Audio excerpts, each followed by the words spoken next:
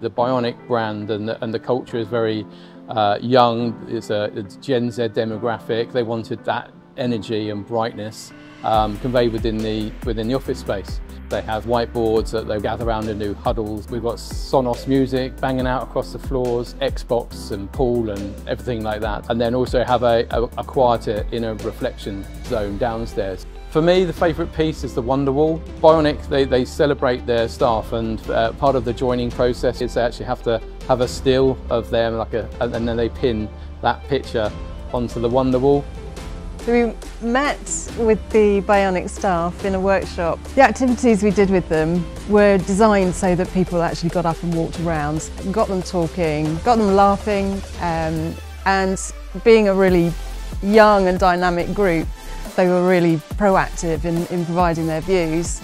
Then to see it in reality and to see people actually using the spaces in the way that um, we were talking about right back at the beginning months ago seeing what a difference it, it makes. The process from start to finish has been really smooth, shockingly smooth actually.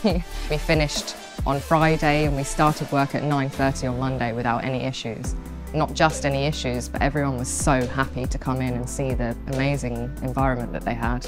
And when you walk around the floor, you can immediately feel that with the buzz that you get throughout the office. It's brilliant.